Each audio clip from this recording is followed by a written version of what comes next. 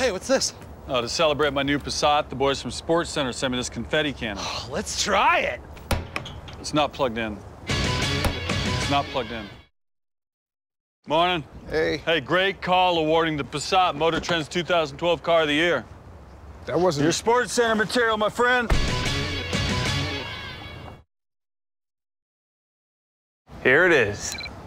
The Passat is Motor Trend's 2012 Car of the Year. And you bring your B game? More lasers. Come on, Kenny. SportsCenter's on. More lasers! Amateur. I'd like my eyes to work when I'm driving my new Passat and to watch basketball highlights on SportsCenter. Is, is this safe in here? Safe-ish.